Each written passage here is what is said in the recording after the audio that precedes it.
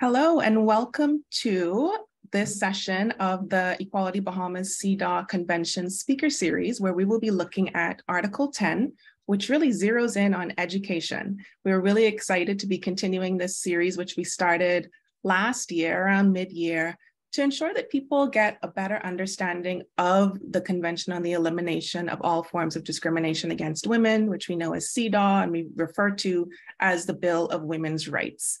The Bahamas is coming up on its 30th anniversary of the ratification of the convention. We ratified in October of 1993. So this year in October, we'll be celebrating that 30 year mark. And as we lead up to it, we'll be looking at one article at a time, um, mostly on a monthly basis, so that we can delve in a little bit deeper and get a better understanding of how each article applies across the board, but also very specifically to the Bahamas. And we can have a look at the concluding observations from 2018, which was the last time that the Bahamas went before the CEDAW committee and got some really solid recommendations in various different areas, including education. Um, please use the chat. You can feel free to type comments and questions if you're watching on Facebook, and we'll be sure to look for those and be able to pose those questions. So we're starting off with a presentation that will be about 30 minutes of our time, and then we should have about 30 minutes left for us to have an open discussion and be able to ask questions, raise challenges, share ideas, really around how we can better use CEDAW, how we can really look at Article 10 and improve the Bahamas' compliance with the convention. I'm now turning over to Marion Bethel, who is an attorney in the Bahamas and also a Bahamian member of the CEDAW committee. And of course, she knows the committee members very well and she will bring an introduction to our speaker today. Okay. Well, good morning to, to all of us and good afternoon to our guest speaker and to other persons around the world who are in different time zones. It's really great to be here. It feels as though we haven't had a session uh, for a long time, but I think it was just December that we had Article 9 with um, Aruna Narain. And so here we are again today. And before I introduce our guest speaker, I just want to again just say how um, honored I am to be a part of Equality Bahamas. And I'm a, a, at least one or two generations above, you know, beyond the, the Equality Bahamas um, general membership. Alicia, Lauren, you all are doing a phenomenal job in the Bahamas, just um, you know, helping us to anchor CEDAW for one, but beyond that, you do your own work in Equality Bahamas um, around uh, gender equality, equality for the LGBTQIA um, constituents in the Bahamas. I'm just really um, amazed at the, the quality of the work that you do and how you and how you do it, the processes that Equality Bahamas uses to really educate and bring awareness to um, the Bahamas and the region in regard to gender equality. So I can't say enough how proud I am to be affiliated with you and to and that you've taken on this work of CEDAW too. Thank you so much. And in particular, Alicia and Lauren and all the executive team of Equality Bahamas. Um, yeah, it's good, good, great work. And so that brings us to, to um, our session today. And I want to welcome all my heart, Hilary Gbedemah from Ghana, who is here with us uh, this morning, this afternoon, um, to um, elaborate on Article 10 of the convention, in which she has um, profound expertise. This is the general recommendation um, of the CEDAW committee that, that Hilary anchored and, uh, and spearheaded and led along with Barbara Bailey of Jamaica. And so this is her area, one of her areas of expertise um, in the CEDAW committee. So we are really um, uh, it's great to have her here to do this. And so I first met Hilary in 2017 when I joined the CEDAW committee, and she was my senior at that time, and um, just helped me through a lot of the challenges and, and the highs that, that we experience on the committee.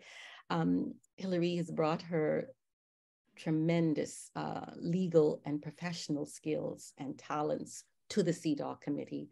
And um, in any issue that, that, that we're confronted with, Hilary is um, concise, incisive, insightful, creative. I particularly admire that she is so skilled um, with, in, in the legal area and also brings a tremendous amount of creativity to the committee in terms of just solving issues and, and bringing results that are both you know sharp and creative. And i think that creative part along with the legal talent is something that i just find very very attractive and and useful in the committee because it's not always just a black and white situation but Hilary finds the the nuances and um, and clarifies them for us as a committee. And so I have really benefited from, from her skills and talents.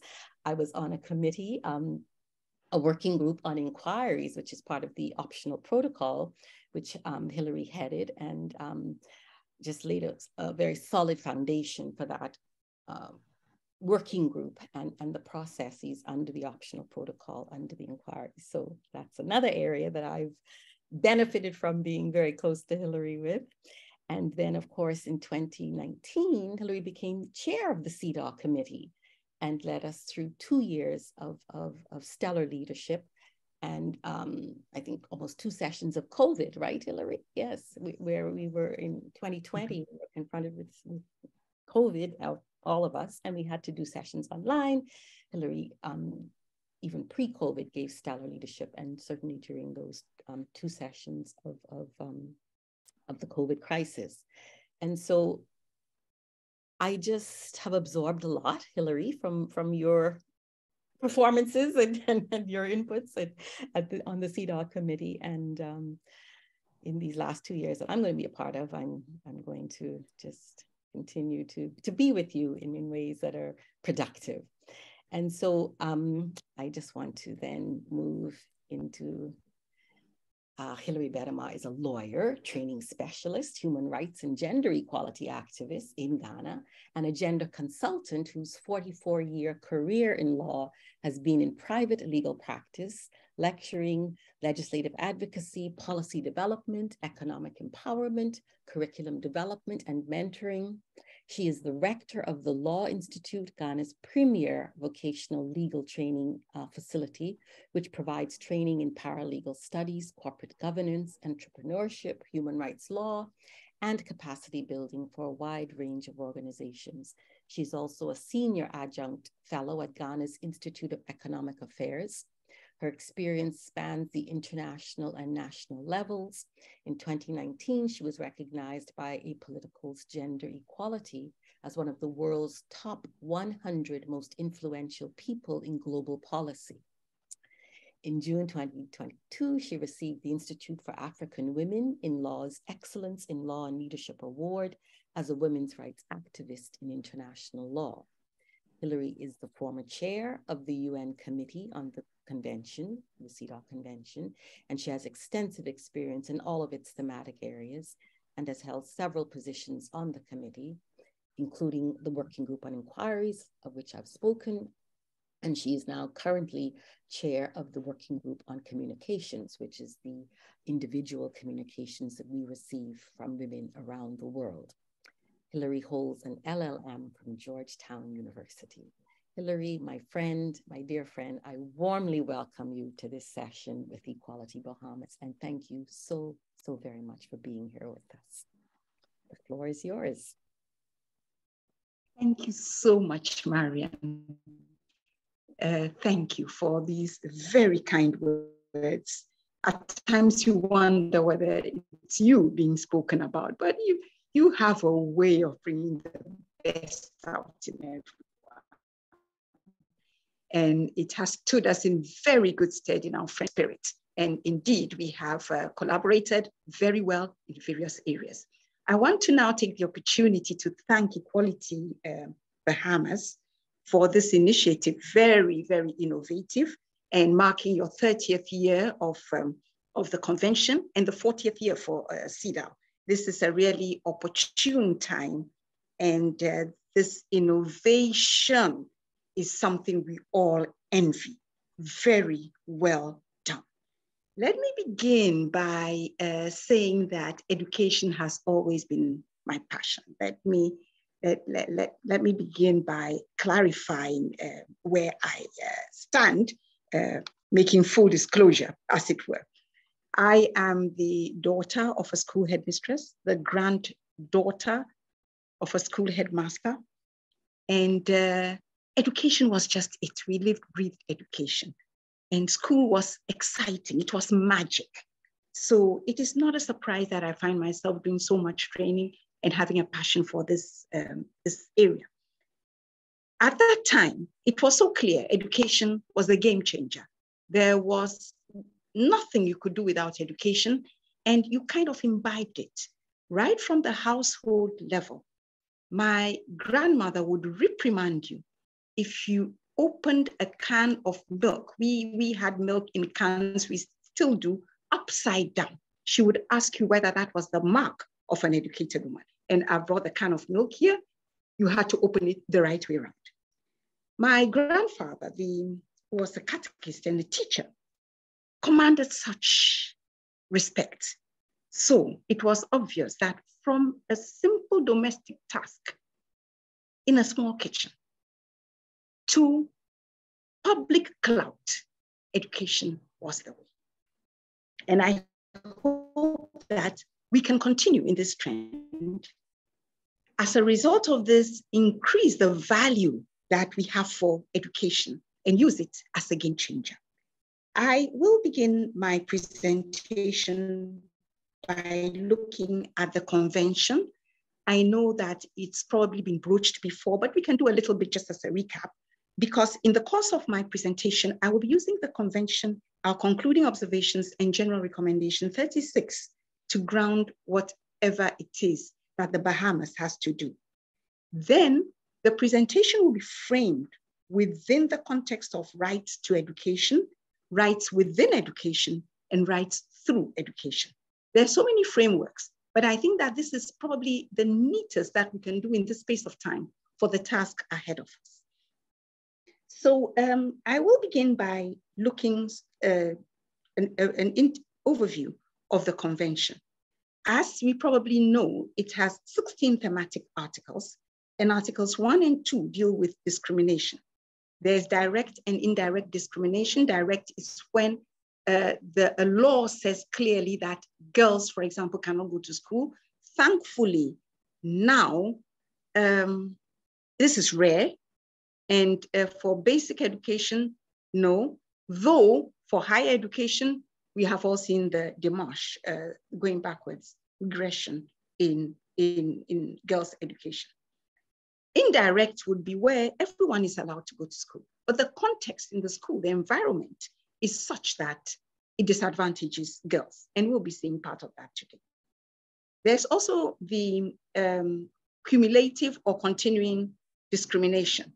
And this is where poor quality basic and high school education or disproportionate levels of poverty, sometimes in rural areas, result in a lack of access to higher education. So one can start education, but one will not progress properly through this cumulative discrimination.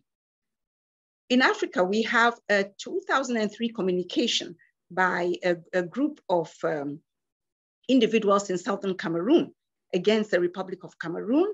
Under, this came under the African Charter, which illustrates this.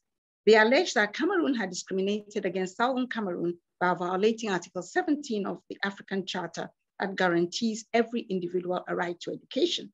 And they had done this through what the respondents called a monopolistic control of the Ministry of Education underfunding of private, uh, primary education, failure to build new schools, and closing of teacher training colleges, and then uh, discrimination in admission into the Polytechnic. Even though the Commission did not find a violation, their argument illustrates how a marginalization in the form of underfunding primary education and closing schools or not having the right atmosphere at the beginning can lead to high levels of illiteracy, lack of access to higher education, and which is cumulative or continuing discrimination. Now, we find uh, um, it resonates in the concluding graph 33A. The committee talked about sufficient, insufficient measures taken to ensure access to high quality education for all girls, in particular those in the family islands and those from disadvantaged communities, including girls of Haitian descent, and ask them to improve the quality of education, in particular in public schools. So we, we have the same thing about uh, primary educational uh, education not being of the best quality. So the recommendation was equal access to high quality education at primary and secondary levels. We also have single or intersectional or multiple discrimination. And this is where in our general recommendation 28, we have the forms of intersection, intersecting discrimination, for example, race, ethnicity, religion, belief, all coming in. Hardly ever is a woman discriminated on one ground. And if uh, there's gender, there is something usually that goes with uh, gender.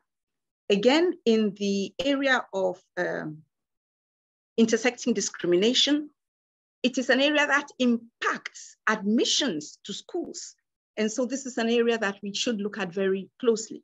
Here again, we have a case, the case of Yean and Bosico children in the Dominican Republic, where the intersecting discrimination was called in-country inequality. And it came in the form of migrant status, that is the children of Haitian descent, eh, who lacked birth certificates. And this intersected with the sex, they were girls, to exclude them from accessing education in the Dominican Republic. So in this case, the Inter-American Court ruled in their favor. So we see examples of discrimination reflected in education. Now, the core obligations of states, so we, we are looking first, the first part has looked at discrimination. The core obligation of states, which is in Article 2 and um, reflected in General Recommendation 28 again, gives the duty to states to ident it identifies the general obligations of states parties. And they are to respect, that is to refrain from laws and policies that directly interfere or indirectly with women's enjoyment of the rights. So first, respect. They are to protect, that is to make sure that there is no discrimination by state or non-state actors as far as girls' education is concerned, or in all forms, in all forms of rights. But we are looking at education and girls' education now. And they are to fulfill and to promote. That means they must take positive steps to ensure that there's equality between men and women, forward-looking, and um, raising awareness on women's rights.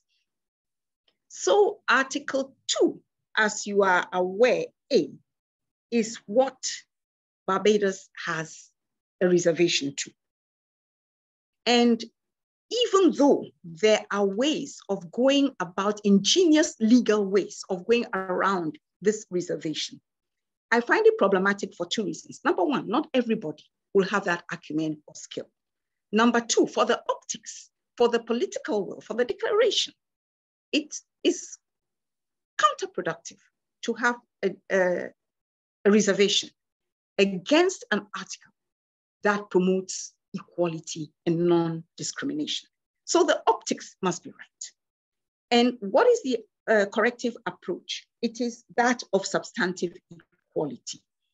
That is equality of outcomes. At the end of the day, the outcomes must be the same. They must be good, they must be human rights compliant, and they must advance women's educational rights, as we'll see later. So substantive equality. In the area of education, it should interrogate the teacher's teaching content. First of all, what do you teach? Methodology, how do you teach it? And classroom practices, what do you say? What do you exhibit to see that they promote the qualities of outcomes for girls as well as? My research around the world shows, not around the world really, in, in various places outside and within Ghana, shows that sometimes utterances that teachers make about girls, and they are stereotyped utterances, are a dis disincentive and therefore could be a bar to substantive equality. Today, we move beyond substantive equality. We talk about transformative equality. And that connects equal rights to social rights, like education. It challenges the prevailing uh, gender ideology and it demands a realignment of power and resources between men and women. So if it is necessary to put more resources into girls' education to have the outcome you want, yes, transformational equality. And it looks at male-oriented institutions, and education is one of them, and social structures that need transformation. So already it links with Article 3 that deals with the institutions. So now Article 3 deals with institutional arrangements and it positions CEDAW as a developmental instrument and grounds its synergies with the SDGs. Article 4, the temporary special measures. Article 5, stereotypes. 6, trafficking. 7 and 8, participation in, in public and international life. 9, nationality. 10, education. 11, employment. 12, health. 13, access to social economic benefits. 14 is critical because even though it talks about rural women, this is where we deal with the list of disadvantaged groups of women that you see before you. And they are, they are the women for whom we have intersecting discrimination. And uh, 15 is equality before the law, access to justice, and 16 is family life. The interesting thing about all these articles is that they have implications in education. And as we move along, I'm sure that these will be apparent. Now let's move to contextualize education. Education is a human right and it is, education is a human right in itself and it is an indispensable means of realizing other human rights. Now, Article 10 is the only article that mentions girls. And when you look at Article 10, it covers the elimination of discrimination uh, in education, and this is where uh, the issue of the uh, reservation is um, troubling. The same conditions for career and vocational guidance. It talks about the same curriculum, staff teaching examinations. So here we should be aware that there should be no canalization. In some schools, we still have girls trotting off to do uh, cookery and needlework and boys doing woodwork and things like that. No, uh, Article 10 does not permit this. It talks about the elimination of stereotypes. And for that reason, it encourages co-education and uh, other types of education that will achieve this because we do recognize that in some countries, some jurisdictions, co-education cannot happen. But when this is the uh, case, there must be the same opportunities to benefit from all uh, that the other side is benefiting from, including scholarships. Then there must be programs for continuing education to reduce gaps for women, uh, girls, reduction of female dropout rates, same opportunities in sports. This did not come up during your, um, your dialogue or your concluding observations, but it is a tremendously important uh, part uh, because sports breaks many barriers and has immense advantages for education. And uh, there must be access to specific educational information to secure the health and well-being of families. And this is the only um, article in education that has found expression in our optional protocol. This is where complaints are brought about violations of the convention. This was a complaint brought in respect of health, but the, uh, the author of the communication, the one who brought the communication, said this article had been violated because nobody informed her about the risks of the uh, procedure that she went through. So, uh, forgive me for going through a long quotation, which I would have produced because it is one of my favorites where education is concerned. It says that it is a human right. It serves as a gateway that allows individuals to access and enjoy other human rights. Education broadens the perspectives of a girl about the role she can play. It provides a key space, and often it is the only space for meeting peers, mentors, and role models, and opens new spaces for an empowered girl to act in, reach out, and influence others. Unique to education, and this is what I love, is the fact that once you have gained it, it cannot be taken away. Other rights can be taken away. Once you have gained education, what you have gained is yours and yours forever. It is therefore a gatekeeper right. And our uh, the rapporteur of the special, uh, the report of the special rapporteur on the right to education says it is should be driven by a rights-based approach. That means um, that is essential for ending multiple forms of discrimination for, from which women and girls suffer. And this means that educating women and girls should, as a matter of priority, be viewed as a human rights imperative rather than being undertaken solely because of the potential benefits to uh, their children or to society. Very often, when we are talking about the right to education, and I do that all the time, we talk about the developmental advantages, the drop in fertility, maternal mortality, promoting health and nutrition, protecting against the early uh, and child marriages, opportunity for furthering education, decent employment, breaking the cycle of intergenerational poverty, reducing the vulnerability to uh, violence. Lofty aims. But the special uh, rapporteur says, this notwithstanding, we should situate and state education as a human right.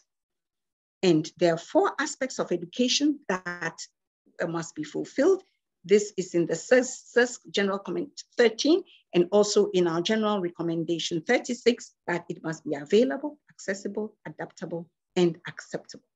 Now, having said all this, one would have thought one, my work was done, and two, I would be living in a, a very beautiful world in which the work is cut out for me. But no, when you look at the next slide, you will see the value or lack of value that we seem to attach to education. First, if you look at our follow-up items, that is after we've had a dialogue with the state, we give them four paragraphs on which to work on and to report by the next, within the next two years. From 2008 to 2016, education did not feature. From 2016 to 2019, whereas violence against women had 36% of the follow-ups, all the figures are there, I'm not going to read through them. Education accounts for a measly 3.3 of the follow-ups. That means we don't often tell states to follow up in education. And it would probably mean that we are not getting enough emphasis from the states about what the lack of education is doing to the human rights. So it comes down low on the totem pole. But this is the snapshot, and this is what um, is a bit distressing. Now, we move on and look at the framing. As I said,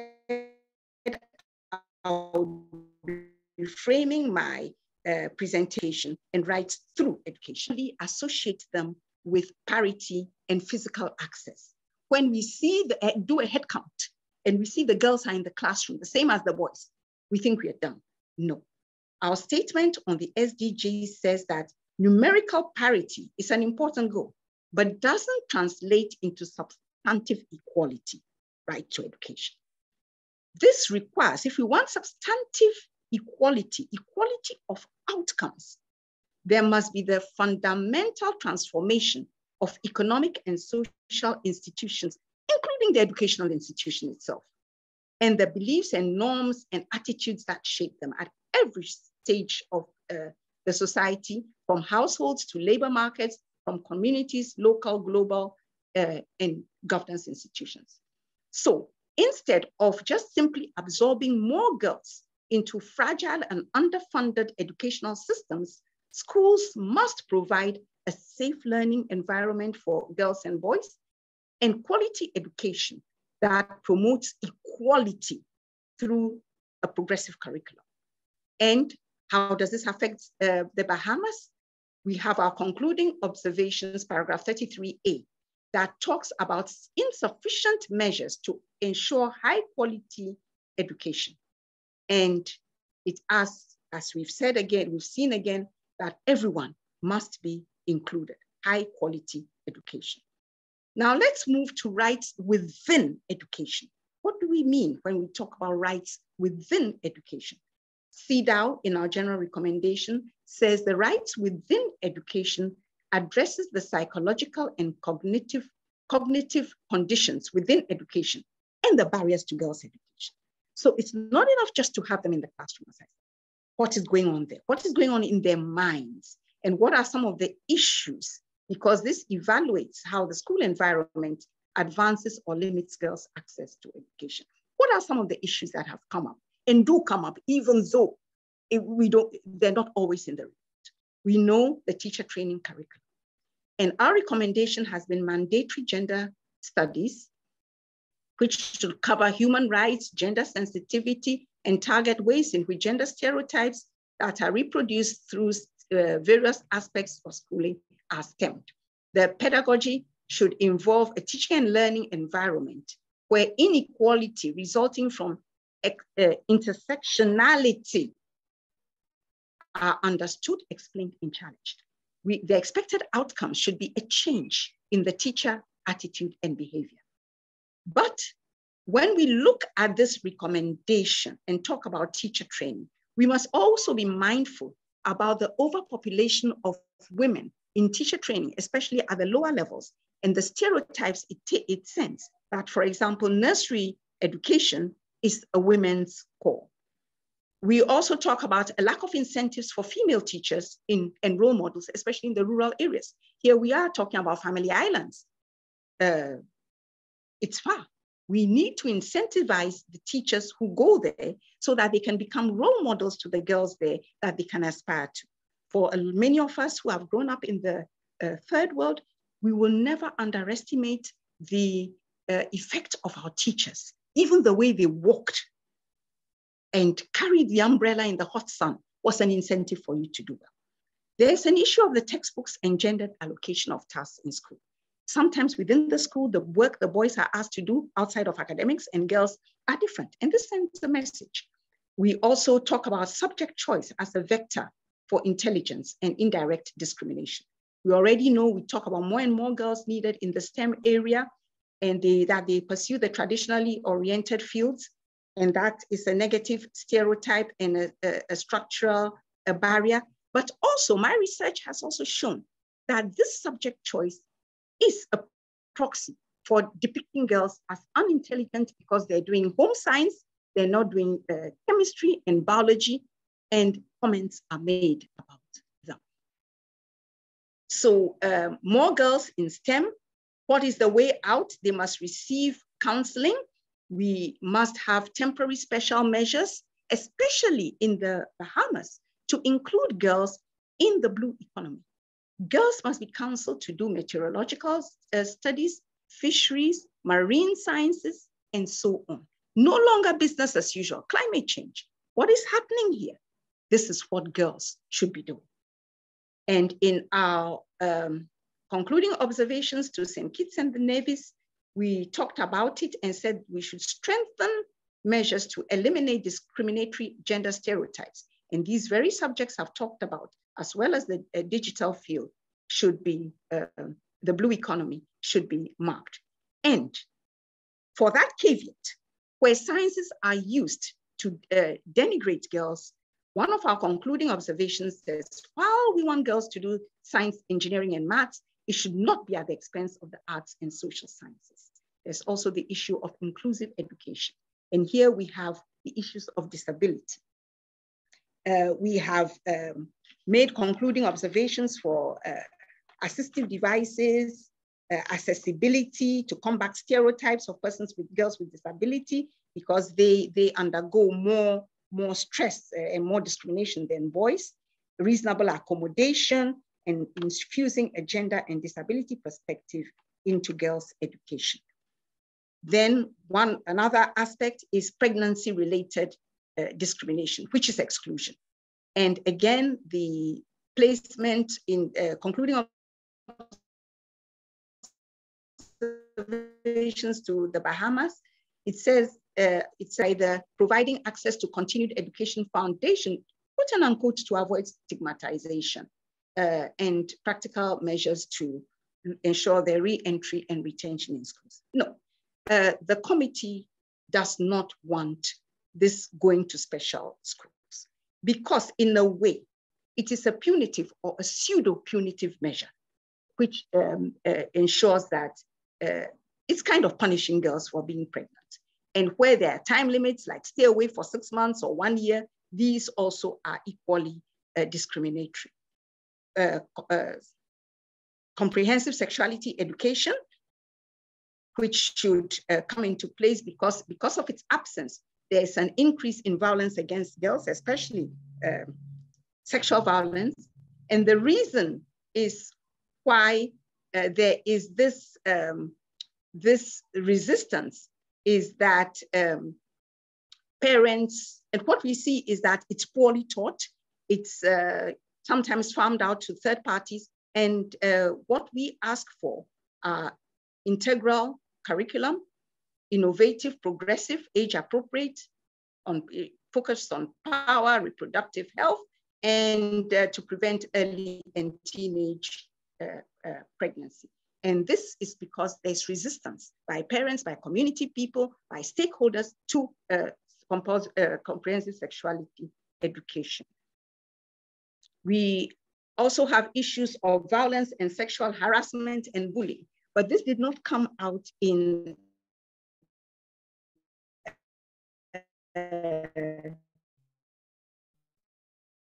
the dialogue, and I want to flag that it is a big issue and that it should be kept on front burner. Now, the third part is the rights through education. And rights through education are there to ensure that educational achievements lead to decent employment. The currency of the certificate that girls get should be uh, worth something in the marketplace. And this is compromised when girls' educational achievements don't translate into their participation in higher education, leadership, decision-making, legislative bodies, correlative employment, and income, notwithstanding that they achieve better than boys in school.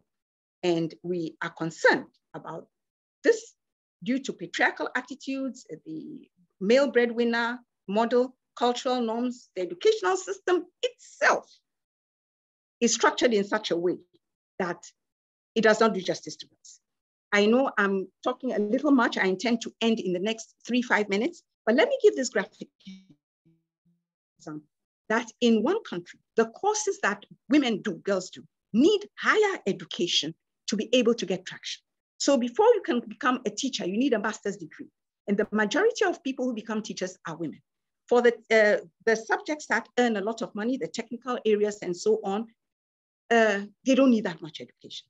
So here it is the educational system itself that is ensuring that girls have a longer education, higher qualifications, and yet when they come out, they're less paid. Now let's look at the next uh, graph, at the next uh, slide, which is a graph of a country. Look at the performance. This is a feminist educationist paradise.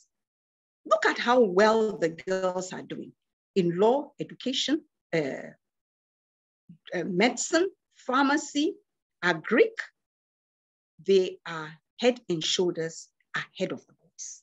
The boys are not even there because in um, medicine, for example, let's take medicine, we need some of these graphic, uh, uh, let's take pharmacy, for example, for the year 2017 to 2018, 345 girls and 87 boys. Do the tally at the end. The boys are not in school. Where are the boys? Usually we are happy when girls are doing well. And um, we say, um, yeah, we, we're happy when they're doing, but here it's concerning because the low level of boys rings alarm bells. Now for this country, look at our recommendations in the next paragraph. Education. We note with concern the low number of boys enrolled in formal education when compared with girls. And boys are forced to work because of the economic crisis. Uh, and they allegedly, in this case, follow their fathers into business and politics, the areas that matter. And this impacts the situation on the value accorded to girls' education and employment prospects. With girls doing so well, you would think they would have no problem in employment. Look at what we said about uh, employment. Eliminate horizontal and vertical occupational segregation. Encourage them to select non-traditional career paths. Now, this is not education. They've done it in education.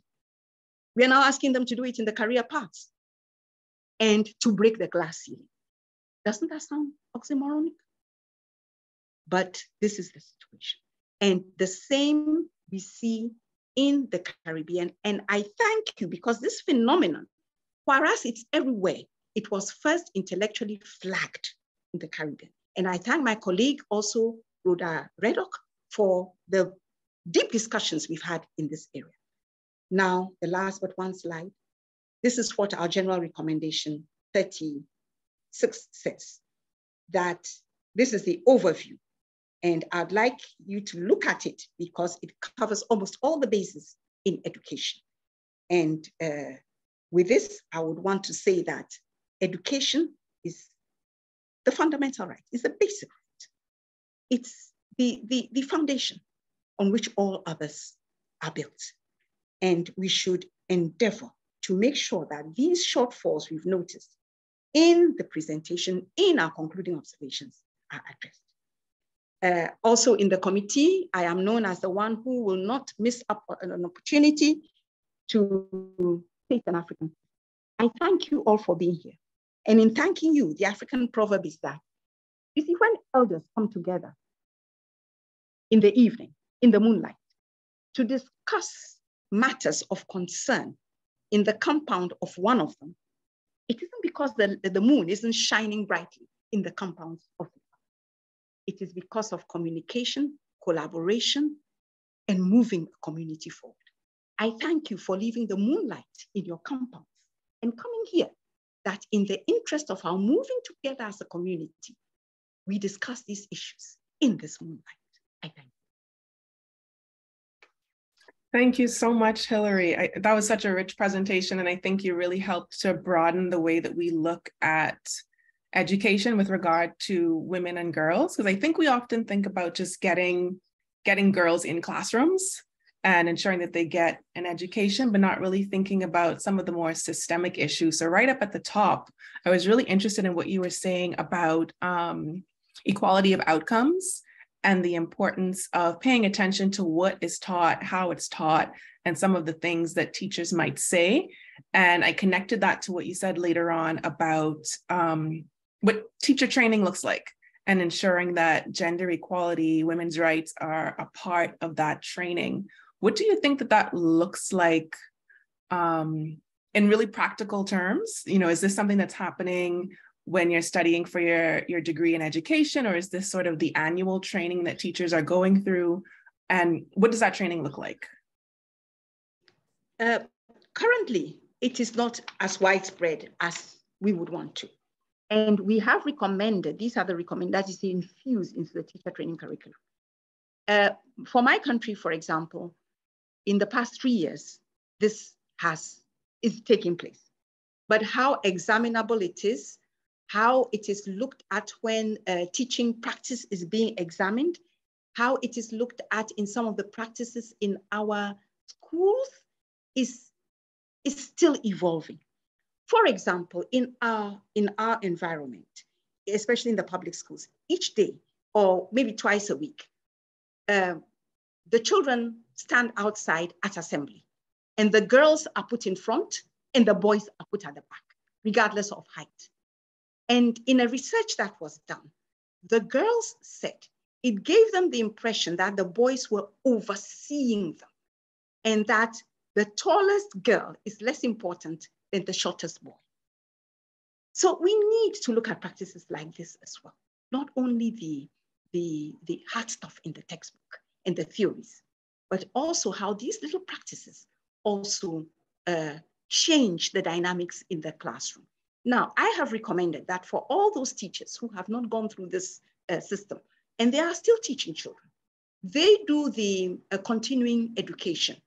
It's better to do a one-off once a year than nothing at all.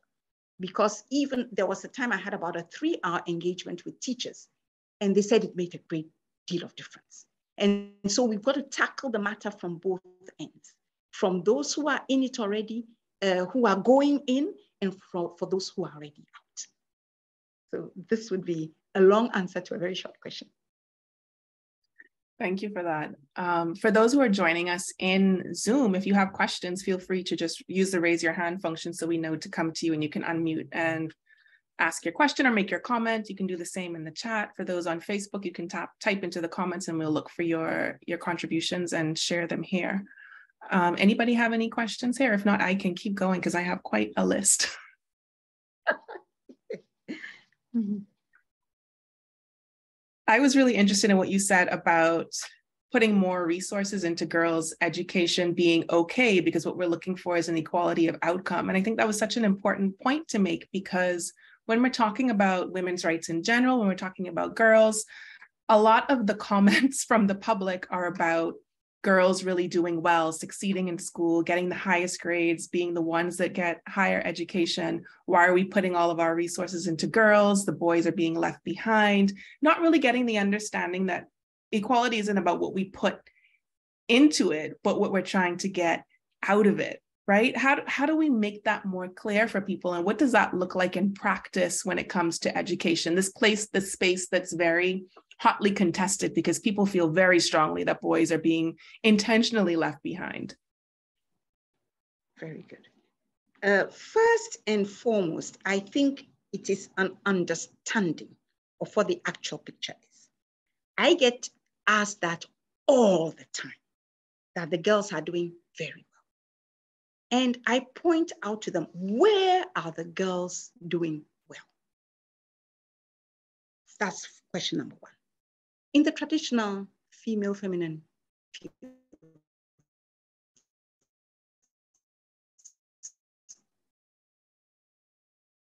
Then, question number two, when even the girls enter the male dominated spaces, which ones do they enter? We still have a deficit of girls in engineering, even though we may have them in medicine. And sometimes when girls enter predominantly male fields, the value of those fields drop. When we have a lot of female doctors, the remuneration, even the respect accorded medicine is not the same.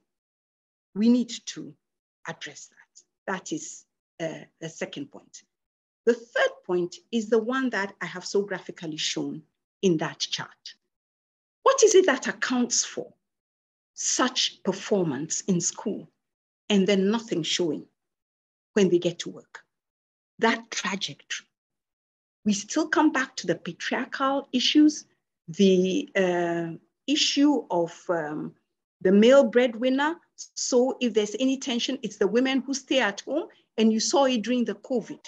So it is a matter of number one, looking at the gaps in the educational uh, institutions or in the educational trajectory, looking at where they claim the boys are being left behind, because indeed, when they leave school in many jurisdictions, they go into business, they go into um, politics, they go into areas that make money or have influence. Regrettably, also sometimes they go into gangs and things like that.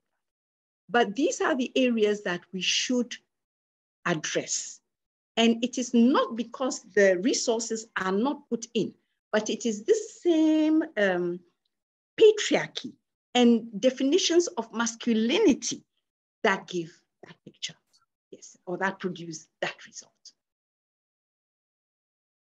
Because when we were talking about dismantling the institution, we're talking about education as well. It's male dominated. Go to the top, go to the universities, uh, go uh, professors. How many are females? And then compare that to what they did in school. So it cannot be that men are being left behind. It is the defining of their spaces and what we and they have interpreted masculinity to be. That is part of the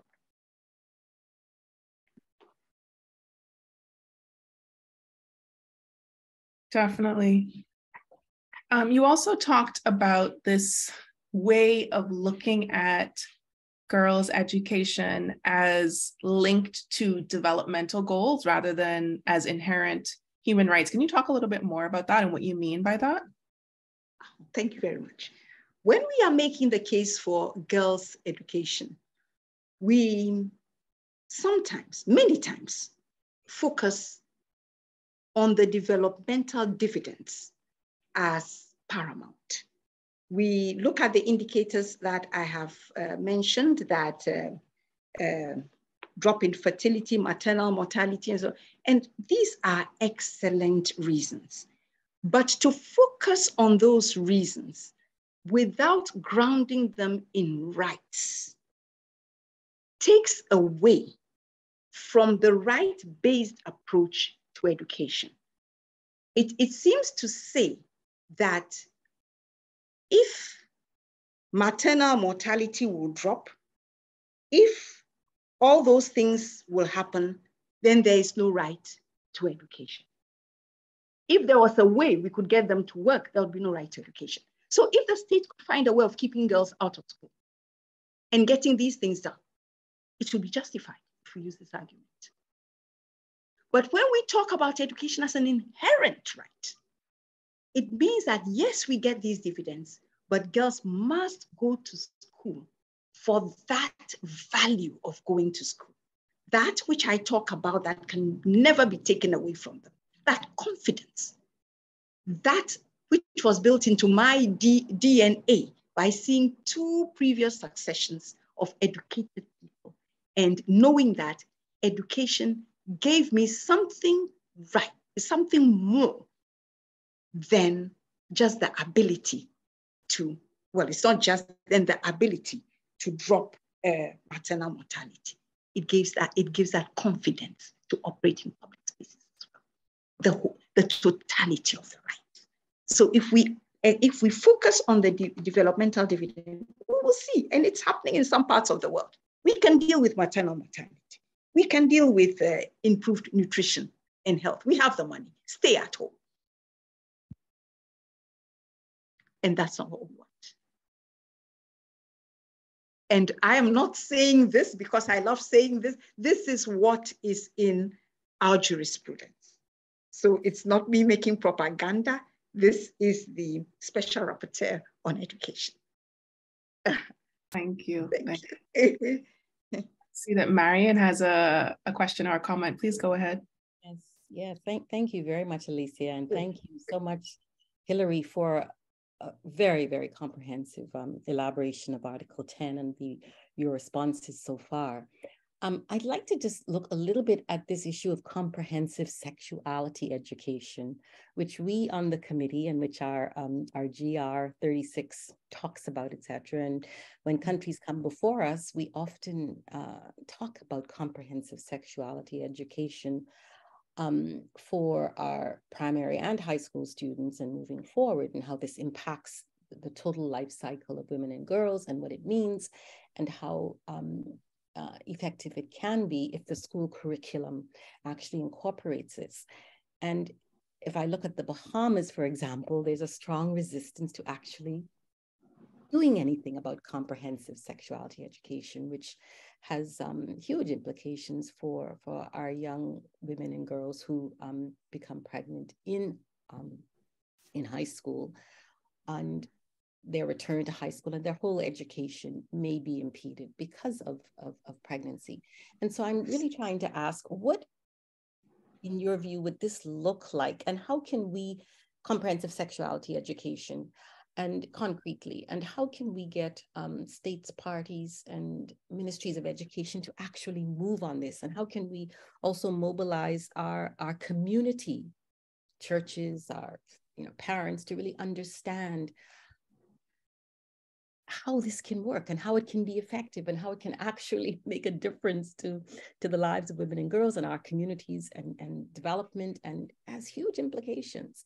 And so what are your thoughts on that and, and how can be actually um, uh, delivered on as a, as a recommendation that we often make? And I know it depends on different countries, but you can talk about that too. Thank you. Thank you so much. First of all, um, it shouldn't be this way. We shouldn't be going about it this way, but this is one of the effective ways of going about it, is to look at the data. Because as far as I'm concerned, this is part of education. the education about girls' bodies, what happens to them, and how this um, impacts them positively or negatively should be mainstream education. But because of the issues of morality and so on, taboo attached to it, it doesn't work this way. So let's look at the data. Let's look at the girls who get pregnant. Let's look at what they're not completing their education to. And then this can be the starting point. And from there, we go to the curriculum because, because of the moral baggage attached to this. Once you moot it, there are constituencies who resist it without even knowing what is in there. Let us engage them in drawing the curriculum. Let us tell them what the children should know at every age. Let us not only look at the data on uh, dropouts, but on the sexual assault data from our police service. How the girls who get raped and so on. If they had this knowledge, because some of them even do not know what's happening until it has happened, wouldn't they be better situated to protect themselves? So let's look at the uh, let's look at the curriculum. We may not get everything in one shot, but we will certainly get better than the biology that is being taught in the name of comprehensive sexuality education. And thirdly, let them let us um, be frank that the age of innocence is sadly gone. Uh, the things that the children watch behind our backs on the on social media and so on and so forth, the misinformation has to be correct. And so let's work together with community, with churches to, to, to correct this. I myself have worked with uh, church in Sunday school in my own country. And it was to protect the even four-year-olds who get uh, uh, defiled. Uh, it changed a bit. But let me say that I, I do see the point resistance is there even today, even in my country. But it is about breaking it down, looking at the statistics, looking at what this education can do, uh, treading cautiously as to what they think is controversial and how we will we will put those in because they have to be put in, but we have to put and allays uh, the fears of the very powerful uh, constituencies. Mm -hmm. Thank you. Yes. Yes, thank, thank you very much for that, Hilary. I, I think you've really pointed out some um, uh, areas that, that, that we can use, and even as an NGO, which I, you know, in terms of Equality Bahamas, perhaps advocating for this kind of, of, of comprehensive sexuality education can use. And I think the, the data-driven aspect of it is just critical. And, and, and, and that, was, that was your lead in, in terms of, of young girls who are pregnant, the young men who um, um, are with them in, in this, what, what does that look like? Um, how does this relate to gender-based violence, etc.? I, I, think mm-hmm. these are all critical things that, that, that you've brought about. And then um, you know, uh, uh, liaising with our with our churches, which which um, may have moral positions on this, and our parents and other um, stakeholders in our community, and really trying to um, convince them with the data and the and the and the, and the qualitative narratives that we have um, about the the impact and the effectiveness of of um, and efforts in, in trying to make this happen so that we can can um, address the address the issue and I and I think that is really I think you've given us a lot to think about and how we can um, move forward in this community on in that area. Thank you. Yeah, I also appreciate that you challenge us to come up with some specifics because a lot of times we do have that happen where we are suggesting that certain things have to happen, we're demanding things of the state, and it might respond in the most minor and ineffective ways, but we can actually make really solid comprehensive recommendations. Like we could put forward a curriculum right? If we have the the resources to do it that's another story. Uh, but sometimes it really helps to be very specific about what we're demanding. Mm-hmm. absolutely. Absolutely.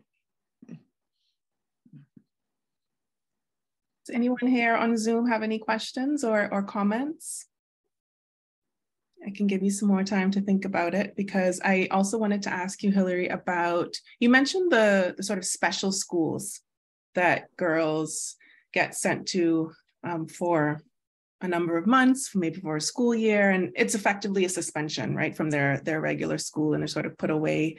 And the excuse is that it's to spare them from stigma. Um, mm-hmm. but in in the Bahamas, we also have the case of other students being sent to different schools, like students with disabilities. Does the CEDAW, does CEDAW have the same position on students with disabilities that they should be in um, regular schools and that schools should be making ac accommodations for students with different needs? Absolutely. Uh, says inclusive education is a right. Uh, I alluded to it briefly towards the end of the presentation and that reasonable accommodation, the assistive devices, the um, closed captioning, the uh, structures, infrastructure should accommodate, um, should accommodate everyone, inclusive education. And this is why I dealt with uh, pregnancy under exclusion uh, together with um, disability. Yes, um, it's all part of inclusive education. Uh, the children with disability must be in mainstream school unless the disability is so, you know, so uh, strong. And even though, even then, as much as they can uh, attend the mainstream, they can, they should, and then have this other extra uh, uh component. So that is for uh, uh, the children with disability, especially girls, because uh, what we found out is that they are kept out of school in some cases at twice the rate of men, of boys. They are uh, stigmatized, they are teased more, they are more subject to uh, sexual abuse. So this is for uh, uh, the girls with the disability. So in the same token, as uh, I said, the putting the girls in a different school or schooling in different hours, or sometimes even they're made to change the courses. They are doing a particular course when they become pregnant, they want to go back to school, they have to do a different kind of course, which uh, in many instances is not regarded as prestigious as the one they were pulled out of. So um, it, it is a suspension the, our recommendations say that with all the support that which we, we, we recommend, we should avoid making teen pregnancy look like a norm. Uh, so that should be part of the education. And if there's sexuality education, if there's empowering education, girls will be able to handle these issues better. We will not see them at the same rate. And so there is a link between the two. I remember I once gave a talk like this and somebody put the hand up and said, well, what I was advocating, they, he didn't agree because in his country, all the girls are getting pregnant in school and the school looks like a maternity clinic. And I said, yes, it's because there's no se comprehensive sexuality education. That's where you should look. The African proverb says, look at where you slipped, not where you fell.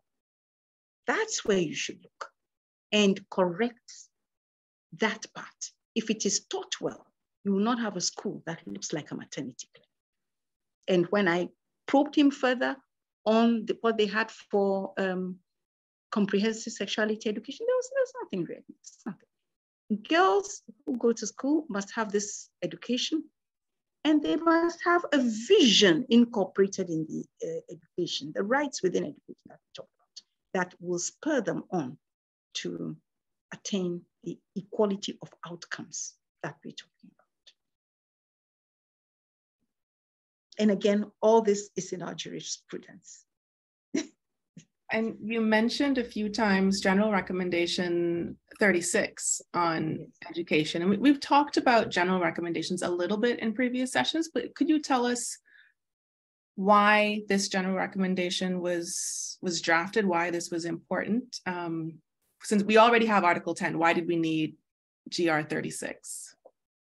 Thank you. Uh, we craft general recommendations as part of our soft law to fill in the gaps that are in the main law, uh, main, main text.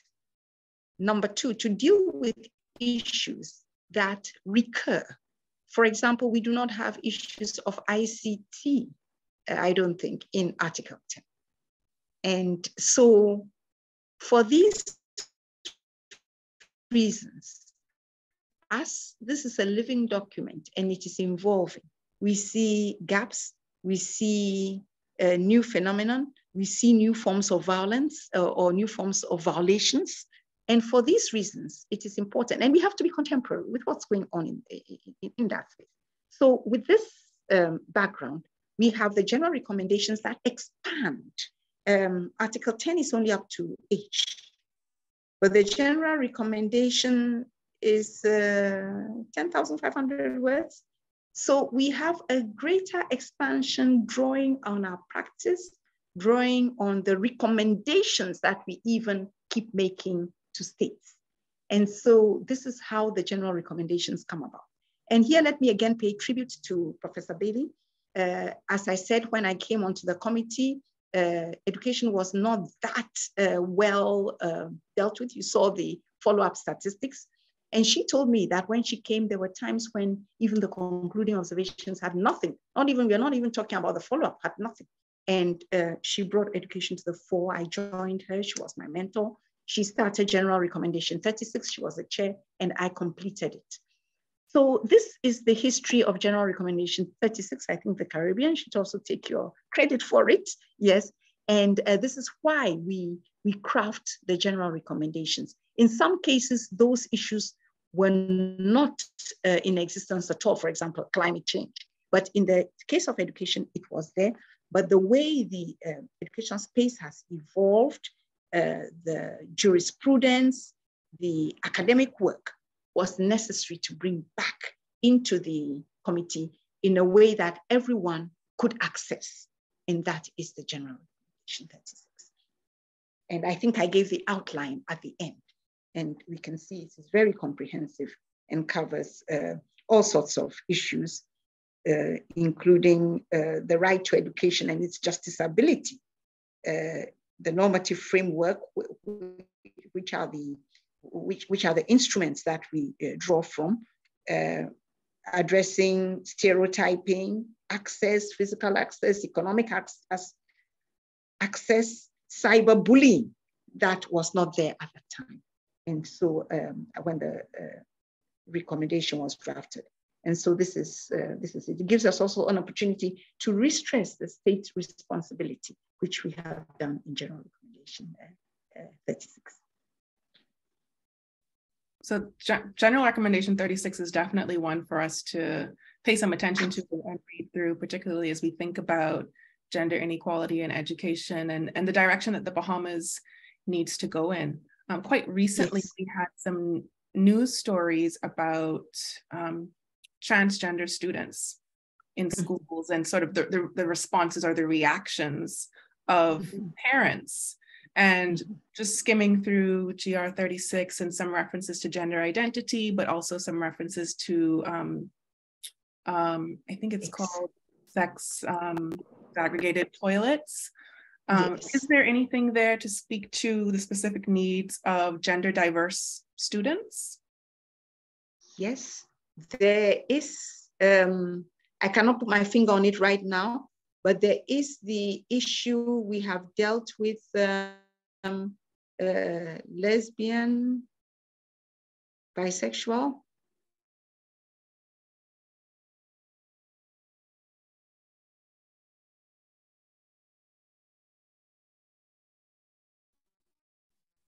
LBTI uh, uh, students, girls, it, it, is, it is there. And I think it is very clearly articulated.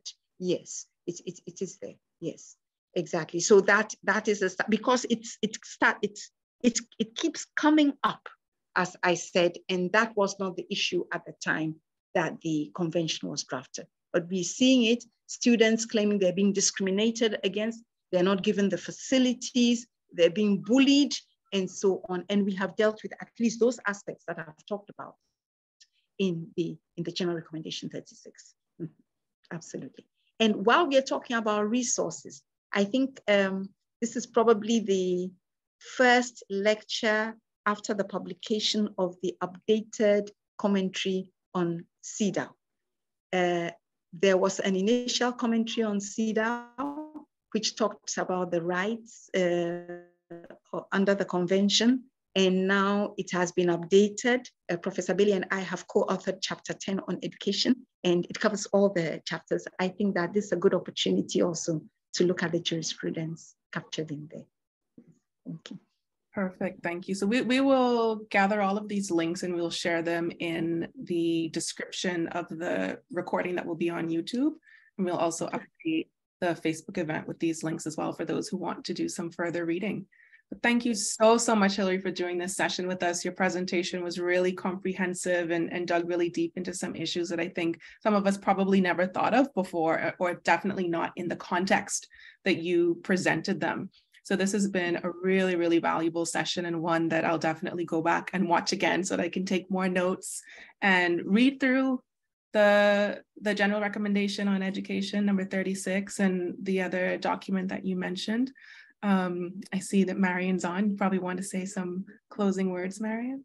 Certainly, I'll be happy to. And um, again, just to thank um, Hilary, so much for being here with us all the way from Ghana. I love this new technology that allows us to, to do this so, so fairly easily, you know, and um, as long mm-hmm. as it works, we're, we're, we're all good to go. And so, Hilary, I mm-hmm. so appreciate your, your presence here, your incredible and wonderful and helpful elaboration of Article 10 in, in, in, its, in its fullness and um, your responses to our questions. And I think this is just very helpful for us. This is a tremendous resource for Equality Bahamas, for, for the Bahamas in general, and for our region and um, anywhere else, because I think it's going uh, on, on the video, um, anybody can access it from anywhere in the world. And so, Hilary, thank you, thank you, thank you. And I look forward to seeing you in another week in Geneva. Yes, we'll be together yes. And, um, at our next CEDAW session. And Lauren and Kadisha, who are um, members of, of Equality Bahamas, thank you so much for being right here with us in person. And to all our listeners um, who are on Facebook, etc. Thank you so much. And have a good thank day. You. Have a good have a good evening. And Hilary, would you like to say something to, to close off?